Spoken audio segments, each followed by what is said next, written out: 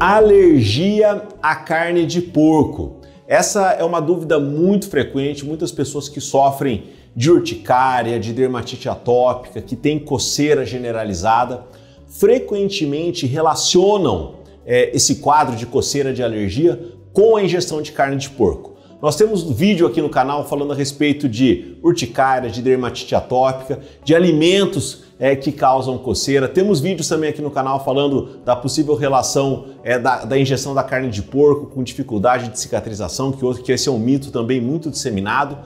Mas no vídeo de hoje nós vamos falar especificamente da ingestão da carne de porco gerando coceira ou mais especificamente os quadros de urticária. Antes de começar, lembrar que o nosso canal fala de dermatologia, toda semana a gente tem vídeo novo aqui no canal. Se você está chegando por aqui, não deixe de se inscrever. Se você já gosta, se já conhece o nosso conteúdo, aperte o botão de curtir, porque isso nos ajuda a chegar a muito mais pessoas.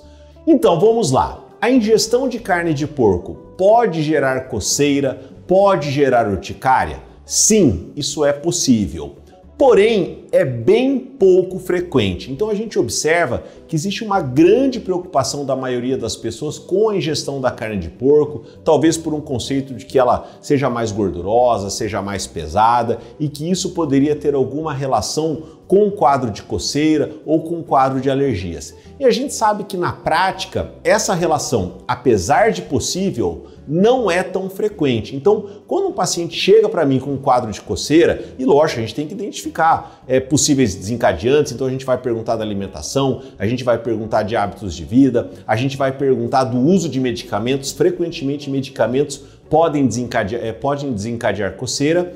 Quando a pessoa fala da ingestão da carne de porco, até da carne de porco, até porque muitas vezes o próprio né, o paciente traz essa, essa dúvida, essa pergunta da ingestão da carne de porco, uma coisa que a gente tem que ficar muito atento.